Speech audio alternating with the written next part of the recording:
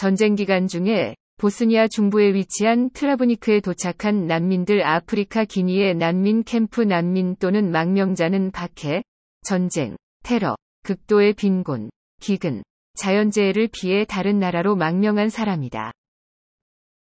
난민의 개념을 살펴본다면 1967년 난민의 지위에 관한 의정서와 아프리카와 라틴 아메리카의 지역 협약들에서 확대되어 전쟁이나 기타 폭력에 의해 원래 살던 땅을 떠나게 된 사람들을 지칭하게 되었다. 망명권을 행사하여 난민 지위를 인정받으려는 사람을 망명 신청자라고 한다. 난민은 제2차 세계대전 이후 동유럽을 떠난 대규모 피난민들에 대해 법적으로 정의하면서 정식화되었다. 난민 보호 업무를 맡는 주요 국제기구로는 국제연합 난민 고등 판무관 사무소이 있는데 2006년 기준으로 전 세계의 난민 수를 840만여 명으로 집계했다.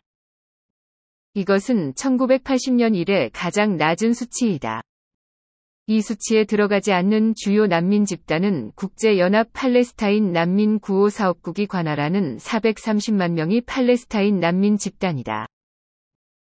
미국의 난민 및 이민위원회에서는 전 세계 난민 수를 총 6,200만여 명으로 집계했으며 3,400만 명이 넘는 사람들이 전쟁 때문에 고향을 잃었으며 이 중에는 자국 내에서 떠도는 국내 실향민도 있다. 조국을 떠난 대다수의 난민들은 인접 국가의 망명을 신청한다. UNHCR과 각 정부가 정의한 난민에 대한 영구적 해결 방안으로는 자발적 본국 귀환, 비호국의 정착 및 통합, 제3국 재정착가 있다. 2005년 12월 31일 기준으로 난민이 크게 발생하는 주요 국가로는 아프가니스탄, 이라크, 미얀마, 수단, 팔레스타인이 있다. 국내 실향민이 가장 많은 나라는 수단으로 500만 명이 넘는다. UNHCR 추정치에 따르면 2003년 미국의 이라크 전쟁 이래 470만 명 이상의 이라크인들이 고향을 등졌으며 270만여 명은 이라크에 200만여 명은 인접 국가에 있는 실정이라고 한다. 매달 최소 6만 명의 이라크인들이 집을 잃고 난민 신세가 되고 있으며 2011년과 2013년 기준으로 자연재해로 발생하는 국가로는 일본, 필리핀이 있다. 난민의 지위에 관한 협약 제1조 난민의 정의 규정에 따르면 인종, 종교, 국적 또는 특정 사회 집단의 구성원 신분 또는 정치적 의견을 이유로 박해를 받을 우려가 있다는 충분한 이유가 있는 공포로 인하여 국적국 밖에 있는 자로서 그 국적국의 보호를 받을 수 없거나 또는 그러한 공포로 인하여 그 국적국의 보호를 받는 것을 원하지 않는 자를 난민이라고 한다. 실례로 대한민국 정부는 2007년 8월 미얀마 군사정권에 반대하는 반체제 인사를 난민으로 인정하였다.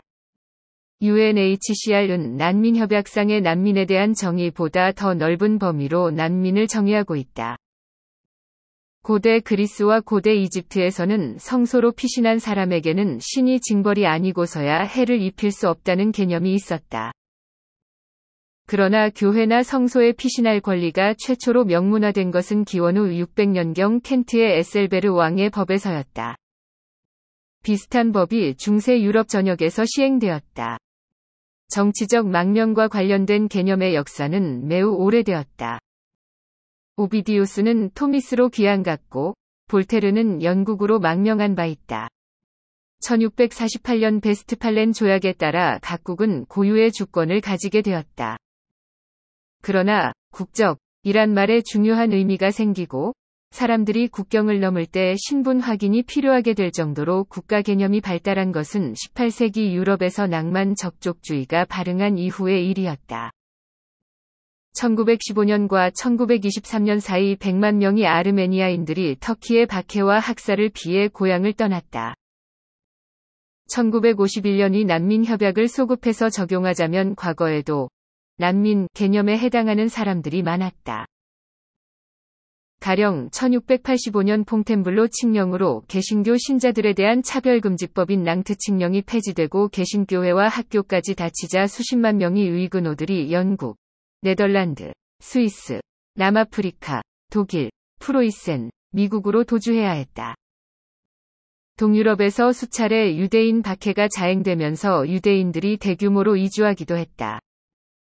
제1차 세계대전이 일어나면서 다양한 집단이 난민으로 공식 규정되었다. 최초의 국제적인 난민 업무 협력은 국제연맹 난민 고등위원회에서 이루어졌다. 프리티오프 난센이 이끈 이 위원회는 1917년 러시아 혁명과 이후의 내전으로 발생한 150만여 명의 피난민을 구호하기 위해 1921년에 창설되었다. 이들 중 거의 대부분은 공산 정권을 피해 달아난 황제파였다. 1915년과 1923년에 터키 지배하에 소아시아에서 아르메니아인 학살 사건으로 탈출한 100만 명이 넘는 아르메니아인도 1923년 이 의원회의 의임을 받게 되었다.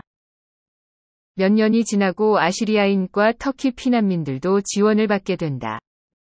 이 모든 사례에서 난민이란 일반적 정의에 따른 것이 아니라 국제연맹이 의임한 집단으로 규정되었다.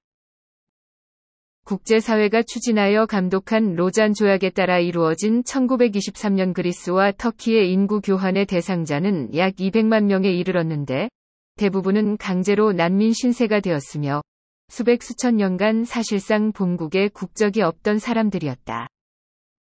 미국 의회는 1921년 비상이민 할당법이 1924년에는 이민법이 통과되었다. 1924년 이민법은 남부와 동부 유럽인 이민자, 특히 1890년대에 미국으로 많이 밀려온 유대인, 이탈리아인, 슬라브인들도 막기 위한 것이었다. 스탈린, 나치, 2차 세계대전을 피해 달아난 유럽 난민 거의 대부분은 미국 입국이 일부 제한되었다. 1930년 난민 고등위원회의 뒤를 이어 난센 국제 난민 사무소가 설립되었다. 이 기관의 가장 큰 성과는 난민을 위한 여권인 난센 여권으로 덕분에 1938년 이 기관은 노벨 평화상을 수상했다. 난센 사무소는 자금 지원이 불충분했으며 난민의 수는 늘어난 데다 연맹 회원국들이 자국 국민 지원을 거부하면서 어려움을 겪었다. 그러나 사무소는 14개국을 설득하여 100만 명 이상의 난민을 구제하기 위한 약한 인권 수단으로 1933년 난민 협약을 체결했다. 나치가 집권하면서 독일에서 상당한 난민이 발생하자 1933년 국제연맹은 독일 난민 고등위원회를 세웠다. 이 고등위원회의 위임 지역은 이후 오스트리아와 수데텔란트 난민까지 포함하게 되다. 독일군이 뮌헨 협정으로 독일령이 된 체코슬로바키아 국경 지역에 진입하자 1938년 10월 1일 이후 15만여 명의 체코인들이 피난길에 올랐다. 1938년 12월 31일 난센 사무소와 고등위원회는 해체되고 국제연맹 보호하에 난민 고등위원회 사무소로 대체된다. 이때 에스파냐 내전에서 1939년 공화군이 패배하여 수십만 명의 에스파냐 공화주의자들이 프랑스로 넘어갔다. 1942 제2차 세계대전의 혼란으로 대규모 강제 이주가 일어났다. 1943년 연합국은 국제연합 구제 부흥 사업국을 세워 유럽 일부와 중국에서 추축국을 몰아낸 지역에 구호 활동을 제공하게 된다. 의원회는 고향으로 돌아가는 700만 명의 난민을 관할하게 되었는데 이들은 흔히 실향민로 칭하게 되었다. 이중 본국 재송환을 거부한 만여 명의 난민들을 위해 이들의 원적지에 실향민 수용소를 건설했다. 제2차 세계대전이 끝나기 몇 달 전 약 500만여 명의 독일 민간인들이 파죽지세로 밀려오는 소련군을 피해 독일의 동 프로이센, 포메른, 실롱스크 주를 탈출하여 난민으로 메클렌부르크, 브란덴부르크, 작센 지역으로 이동했다. 1945년 5월 독일이 항복하자 연합국은 1937년 12월 31일 당시 독일 영토를 점령했으나 1945년 봄 폴란드인들이 남아있던 독일인들을 몰아내고 연합국 순회들이 1945년 7월 17일 포츠담 회담을 열던 당시 승전국들은 혼란스러운 난민 상황에 직면했다. 1945년 8월 2일의 포츠담 위정서 제9항에 따라 독일 영토의 4분의 1을 폴란드 통치에 맡겼고, 위정서 제13항에 위거하여 폴란드와 체코슬로바키아, 헝가리에 남은 독일인들을 질서 있고 인도주의적으로 서쪽에 이동시키도록 했다. 포츠담에서 연합국이 승인하지는 않았지만 유고슬라비아와 루마니아에 살던 수십만 명의 독일계 사람들은 소련의 강제 노역에 동원되었고 이후 연합국이 점령한 독일 땅으로 추방되었다. 이로써 역사상 가장 거대한 인구 이동이 일어났다. 총 1500만여 명의 독일인들이 영향을 받았으며 독일인 추방으로 2만 명 이상의 사람들이 죽었다. 2차 대전 종전부터 1961년 베를린 장벽이 세워질 때까지 56만 3,700명 이상의 난민이 소비에트 지배를 피해 동독에서 서독으로 망명했다. 또 과거 러시아 시민이었던 수백만 명이 본인의 의사는 무시된 채 강제적으로 소련으로 송환되었다. 1945년 2월 11일 얄타 회담에서 미국과 영국은 소련과 재송환 협정에 서명했다. 이 협정 때문에 강제적인 소비에트 송환이 이루어진 것이다. 1945년 5월 전쟁이 끝나자 영국과 미국 민정당국은 유럽의 자국 군대를 동원해 과거 소련 주민이었던 수백만 명을 소련으로 퇴거시키도록 조치했는데 이들 가운데는 수년 전에 러시아를 떠나 다른 국가의 시민권을 얻은 사람들도 많았다. 강제 송환 작전은 1945년에서 1947년 사이에 실행되었다. 종전 당시 500만여 명 이상이 소련 출신의 실향민으로 서유럽에 있었다. 약 300만 명은 독일 본토와 독일 점령지에서 강제 노동자였다. 소련의 전쟁 포로와 나치 협력자들은 러시아 정보국 SMERSH 위 관할하에 놓였다. 독일군이 생포한 소련 포로 570만여 명 중 350만여 명은 전쟁이 끝나기 전에 포로 수용 과정에서 사망했다.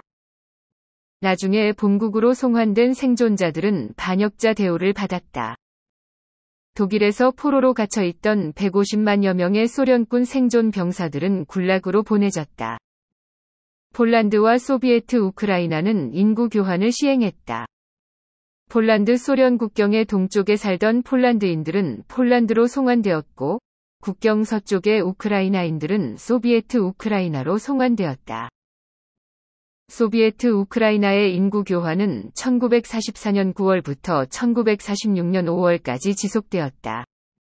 어떤 우크라이나인들은 어느 정도 자위에 따라 폴란드 남동부 지역을 떠났다. 1947년 유엔RRA는 폐지되고 그 업무는 새로 창설된 국제 난민기관으로 이관되었다. 이관 계획은 원래 1947년 초에 있었으나 1947년이 되어서야 실행할 수 있었다. 국제난민기구는 1945년 창설된 국제연합의 임시조직으로 주로 UNRRA의 난민 재송환 및 재정착 업무를 맡았다. 약 100만 명이 난민 재정착이 끝난 1952년에 이 기구는 해체되었다. 이 시기 난민의 정의는 난센 여권이나 국제난민기구가 발행한 자격증명서를 가진 사람을 일컬었다. 스위스 제네바에 본부를 둔 국제연합난민 고등판무관 사무소는 각국 정부나 국제연합의 요청에 따라 난민을 보호하고 구제하며 재송환이나 재정착을 돕는 기관이다. 세계의 모든 난민들은 UNHCR 위 관할이며 1947년에서 1948년 사이 이스라엘 건국으로 발생한 팔레스타인 아랍인들만이 예외이다. 그러나 1948년 이후 팔레스타인 땅을 등진 팔레스타인인들은 UNHCR 위 관할이다. UNHCR은 난민뿐 아니라 다른 범주의 실향민이나 빈민에도 구호 활동을 전개하고 있다. 그 대상자로는 망명 신청자, 본국에 왔지만 아직 재건 사업이 필요한 난민, 난민 이동에 직접적으로 영향을 받는 지역 주민들, 무국적 주민 그리고 소위 국내 실향민을 포괄한다. 국내 실향민은 고향에서 강제로 떠났지만 외국으로 나가지 않은 민간인을 말하며 따라서 난민과 달리 국제법이 보호를 받지 못해 구제를 받기 힘들다. 지난 수십여 년간 전쟁의 성격이 변화하고 국가 간 전쟁보다 국내 분쟁이 많아지면서 국내 실향민의 수는 전 세계에 500만 명에 이르게 되었다. 이 기관은 이전 국제난민기구와 국제연합 구제부흥사업국을 계승했다. 유엔 난민기구는 1954년과 1981년 노벨 평화상을 수상했다. 이 기관은 난민을 보호하고 전 세계 난민 문제를 해결하기 위해 국제 활동을 이끌고 공조한다. 그 주 목적은 난민의 생존과 권리를 보장하는 것이다. 대한민국 출신 난민과 난민 신청자 수다. 조선민주주의인민공화국 출신 난민과 난민 신청자 수다. 시청해주셔서 감사합니다.